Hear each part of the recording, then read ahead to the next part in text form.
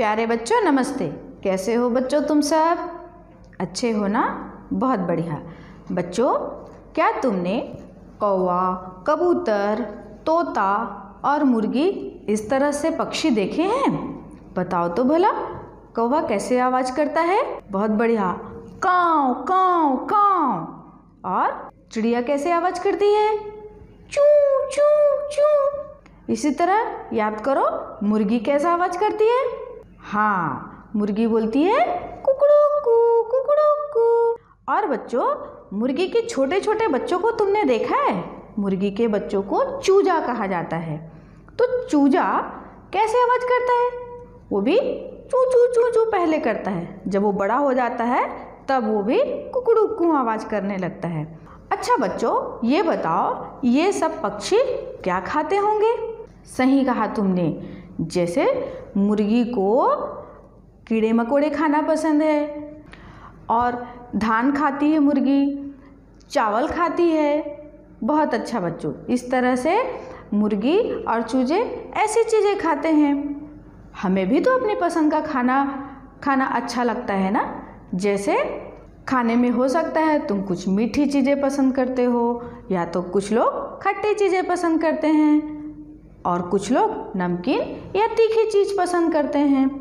अच्छा बच्चों, खट्टी और मीठी चीज़ें तो सब आसानी से खा लेते हैं।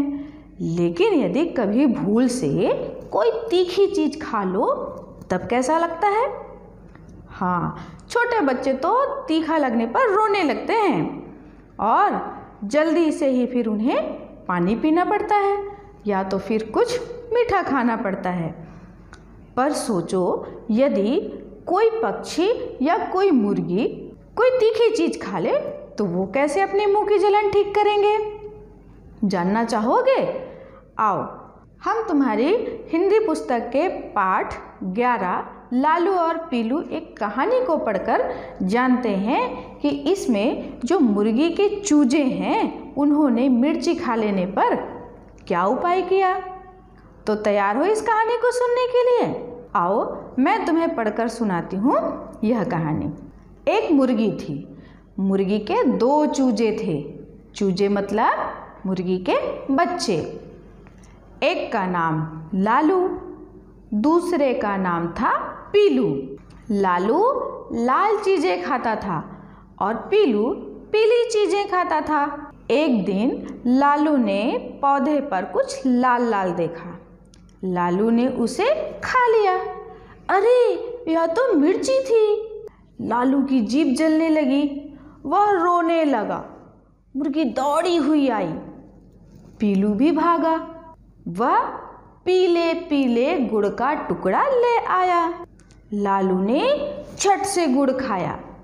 उसके मुँह की जलन ठीक हो गई। मुर्गी ने लालू और पीलू को लिपटा लिया। तो बच्चों कैसी लगी तुम्हें यह कहानी? आओ इस कहानी को तुम मेरे साथ एक बार फिर से पढ़ो। एक मुर्गी थी। उसके दो चूजे थे। एक का नाम लालू, दूसरे का नाम था पीलू। लालू लाल चीज़ें खाता था और पीलू पीली चीज़ें खाता था। एक दिन लालू ने एक पौधे पर कुछ लाल लाल देखा। लालू ने उसे खा लिया। अरे, यह तो मिर्च थी। लालू की जीभ जलने लगी। वह रोने लगा। मुर्गी दौड़ी हुई आई। पीलू भी भागा। वह पीले पीले गुड़ का टुकड़ा ले आया। लालू ने झट गुड़ खाया। उसके मुँह की जलन ठीक हो गई। मुर्गी ने लालू और पीलू को लिपटा लिया। अब इस कहानी को तुम अपने घर के लोगों को भी पढ़कर सुनाना। आओ, अब इस पाठ से जुड़े कुछ हम गतिविधि करते हैं। तुम्हें यह गतिविधि करने में बहुत मज़ा आएगा। उसके लिए हम एक खेल खेलते हैं। कौन उड़ेगा और कौन नहीं उड़ेगा?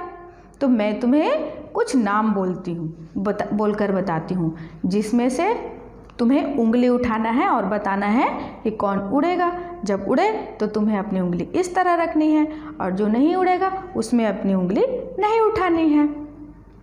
तो देखो, पहला चित्र है मुर्गी। थोड़ा सा उड़ती है मुर्गी। तोता। कौवा। बंदर। मैंने अपनी उंगली नहीं उड़ाई, क्योंकि बंदर नहीं उड़ता। कबूतर। कबूतर उड़ता है। हाथी।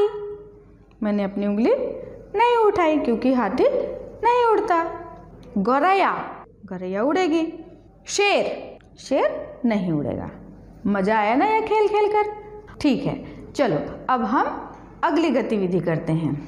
अब इस गतिविधि में तुम्हें यह बताना है कि जब मैं कोई नाम बोल रही हूँ, उसमें कितनी आवाज़ें हैं? इसके लिए तुम चुटकी बजा सकते हो। तो पहला शब्द है पीलू अब चुटकी बजा कर देखो, इसमें कितनी आवाज़ें हैं और कौन कौन सी आवाज़ें हैं? पीलू कितनी चुटकी बजी? दो चुटकी। कितनी आवाज़ें हैं इसमें? दो आवाज़ें हैं। कौन कौन सी आवाज़ें हैं? पहली आवाज़ पी और दूसरी आवाज़ लू। शाबाश बच्चों, आगे बढ़ते हैं। गुड़, इसमें ताली बजा कर देखो। कितनी आवाज़ें हैं? कौन कौन सी आवाज़ें हैं? गुड़ कितनी आवाज़ें? दो आवाज़ें। पहली आवाज़ गु, दूसरी आवाज़ ड। ठीक है? अब बच्चों, इसी तरह टुकड़ा। इसमें देखो कितनी आवाज़ें हैं। चुटकी बजा कर देख सकते हो। टू कड़ा कितने बार चुटकी बजाई मैंने? तीन बार। पहली चुटकी किसके लिए? टू। दूसरी, क। और फिर ड़ा। तो पहली आवाज़ है इसमें टू। ठीक है बच्चों? अब हम एक और शब्द के बारे में ताली बजाकर देखेंगे कितनी आवाज़ें हैं और कौन कौन सी आवाज़ें हैं। तो लिपटा। लिपटा। कितनी आवाज़ें हैं?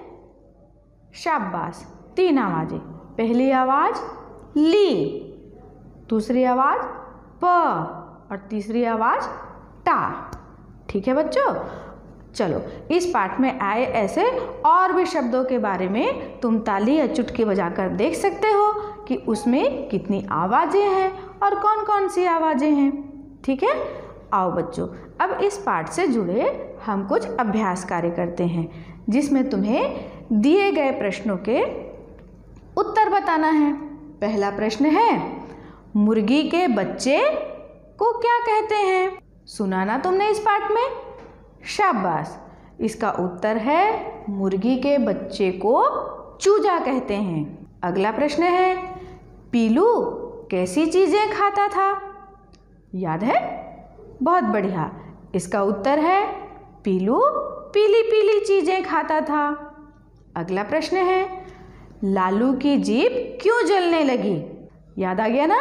हाँ इसका उत्तर है, लाल मिर्च खा लेने के कारण लालू की जीप जलने लगी। अगला प्रश्न है, पीलू ने लालू को गुड़ लाकर क्यों दिया था?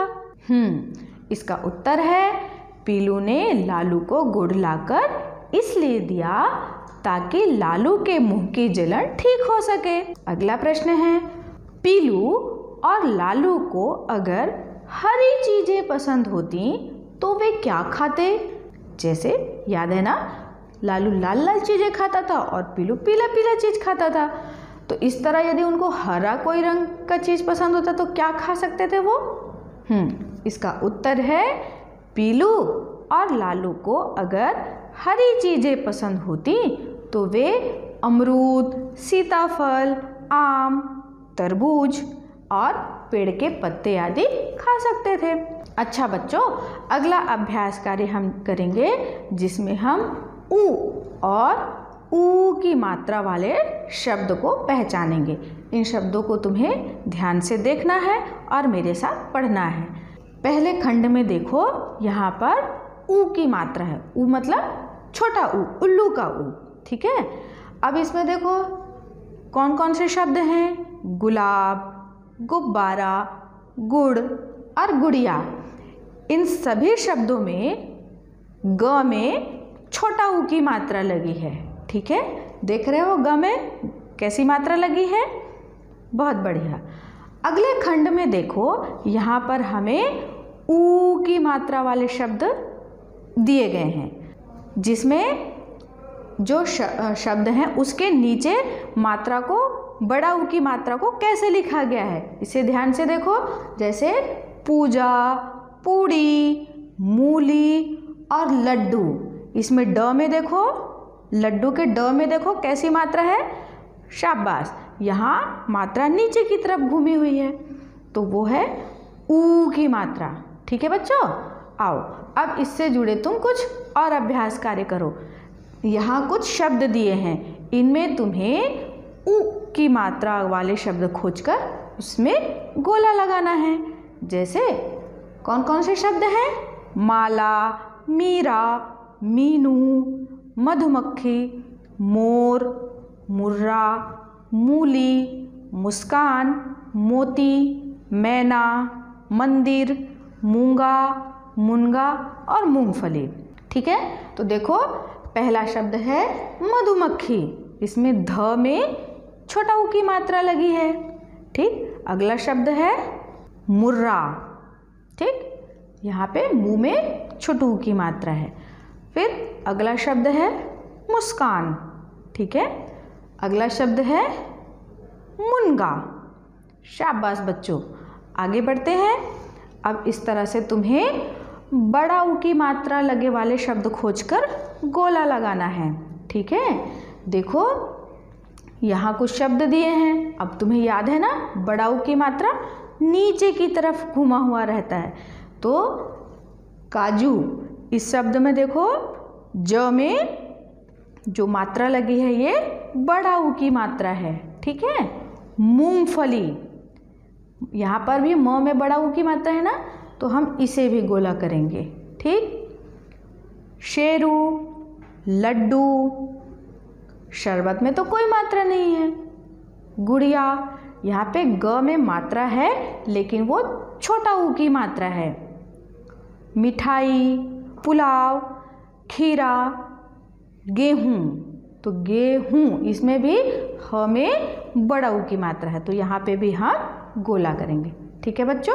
और हलवा में बड़ा ऊ की मात्रा नहीं है तो इसे छोड़ दो। आगे बढ़ते हैं। अब अगला शब्द देखो, लड्डू। तो यहाँ पर ड में बड़ा की मात्रा है तो इसे भी गोला करेंगे, ठीक? अब आगे बढ़ते हैं। इसमें तुम्हें मैं कुछ गृह कार्य देती हूँ, जिसे तुम घर पर कर सकते हो।